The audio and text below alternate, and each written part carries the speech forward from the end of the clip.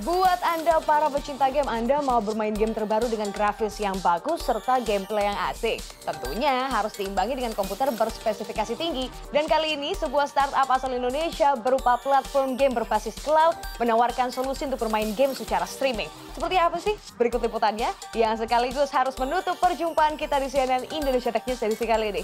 Jangan lupa tayangan-tayangan kami selalu bisa Anda saksikan di channel YouTube CNN Indonesia di playlist teknologi dan gadget. Saya Aziza Hanum pamit undur diri. Jangan pernah berhenti untuk berinovasi.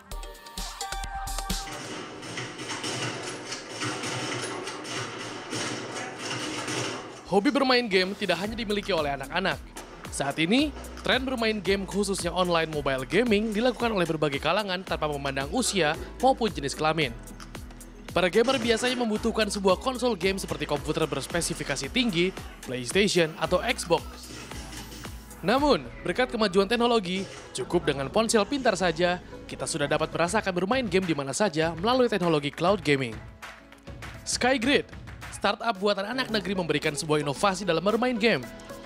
Dengan platform game streaming berbasis cloud, para gamer tidak perlu khawatir memikirkan spesifikasi komputer atau laptop yang tidak mumpuni. Bahkan, kita dapat memainkan game AAA atau game besar di ponsel pintar. Sebenarnya sih kalau dibilangin uh, kelebihannya adalah pasti mobile. Dan sekarang ya memang yang berkembang adalah gimana caranya untuk membawa konten yang ada di dalam rumah itu keluar. Jadi sebenarnya itulah yang namanya platform cloud gaming itu seperti itu. Jadi game yang tadi dimainin hanya bisa di rumah, mengandalkan device di rumah, ini bisa dibawa keluar. Fleksibel jadinya. Seperti itu sih. Melalui platform ini, hanya bermodalkan jaringan internet stabil, kita dapat bermain game konsol yang memiliki spesifikasi tinggi secara streaming tanpa melakukan instalasi dan memakan memori banyak.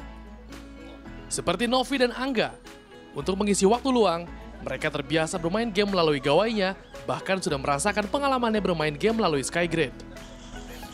Uh, bagus, gambarnya bagus, suaranya juga bagus, terus uh, kayak kita main game nyata ya.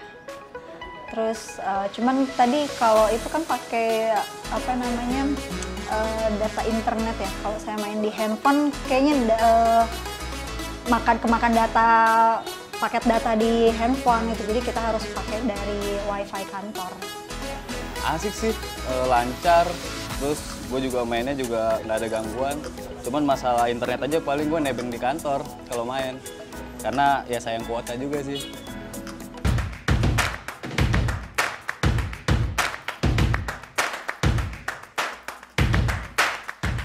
Saat ini Skygrid sudah tersedia di sistem berbasis Windows dan Mac untuk komputer atau laptop, serta Android untuk ponsel pintar. Tentunya, gamer harus membayar biaya berlangganan setiap bulan untuk dapat merasakan bermain game tanpa batas di mana saja.